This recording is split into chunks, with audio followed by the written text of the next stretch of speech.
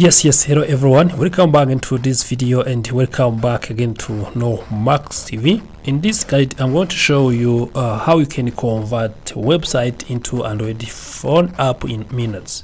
So i want to be showing you one of the websites that you can be seeing and can be using to convert your app mobile application from the website you are owning. So if you come into google and say convert web into app you can see various websites that are talking about converting website into applications. And you're asking yourself if you can get the appropriate one.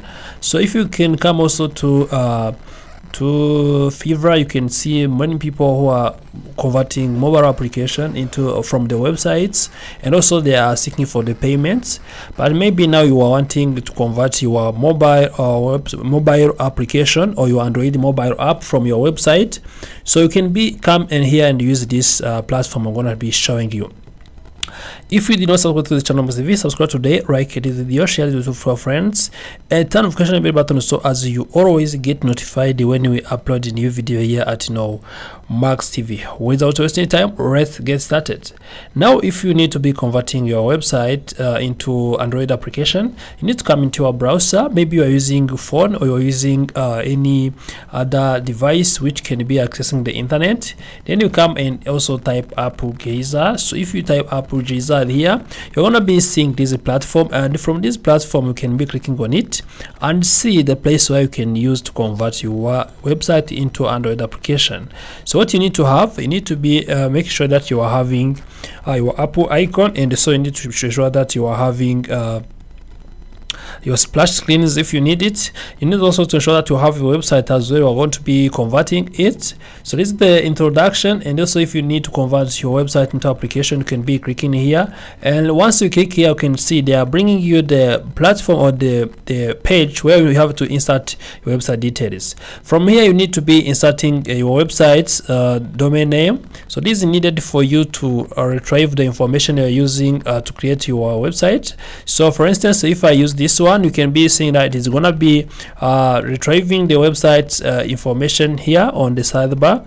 Uh, it's gonna be bringing me uh, the information of the websites. What you need to see you can see now it is loading my website and it will be opening on this page which is a preview of it. So this is how uh, how the iOS application will be looking like. And also this is how the Android phone will be looking like. If I click on it you can see how it will be looking like normally and how I will be accessing the contents. However I have to add app name and also my app name will be uh, maybe I need to be adding my apps. So my apps Epsilon. So this is the one uh, which is I'm gonna use my Epsilon. And also after this, you need to be uh, inserting the email address. So this is the contact email address that they will be using it. You need to be typing it here. After this, you click next, and also once you click next, you can see the my app plan. So in my app plan, they are asking me to upload Apple icon. So if you have one, you need to ensure that you choose one. You should also have uh, already have prepared your Apple icon.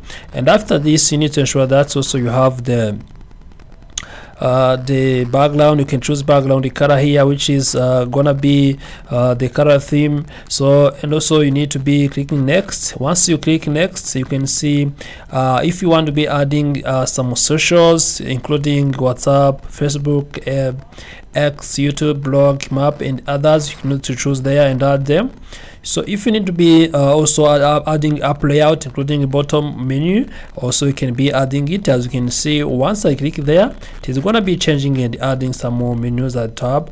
I can be adding tabs so whenever i click it it's going to be changing or adjusting everything and show me how to be looking like so once you are done you can be even also adding action bar which will be showing you what you are doing in the application. So once you are done you need to click download the app.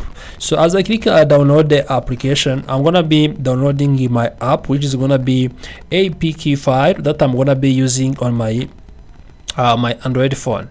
So as you can see, this is uh, if you, you want to download AAB file, you need to be uh, publishing into Play Store or you need to be uh, publish also if you want to be downloading the iOS application, you need to be uh, paying so that you can be accessing these ones.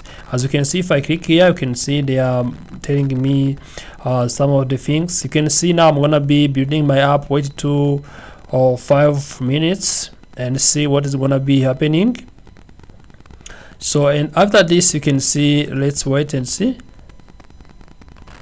so now you can see it downloaded automatically. This ABAB file that I'm gonna be I can be uploading it, it if I want it. You can see this ABAB file.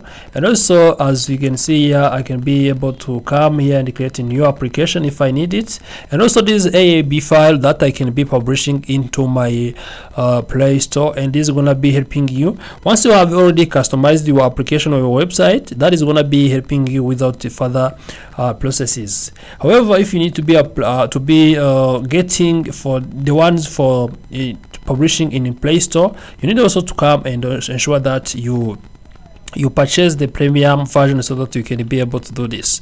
Thank you for watching the video. Remember to subscribe to the channel tv like the video if you have any question suggestion remember to leave it in the comment section